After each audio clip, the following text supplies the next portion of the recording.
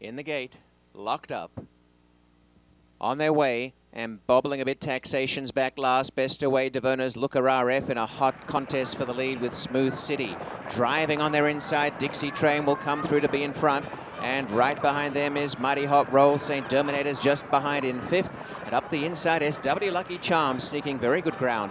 A length in behind is Teton and Taxation the rail. Five to Runaway Rick. And second last is City Lights who, and a long, long last. Unable to keep up, it's a train. Out in front is Dixie Train.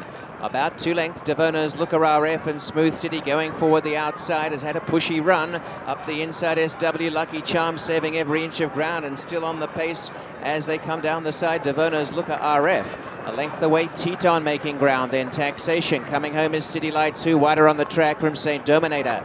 In front, Dixie Train, the inside SW Lucky Charm bursting through. Taxation gets an opening on the outside. Mighty Hot Roll and Smooth City's five wide. And running home is City Lights, who but it is Smooth City ranging up. It's SW Lucky Charm and in the center, Mighty Hot Roll and Teton flying. Teton on the outside, gathering them in.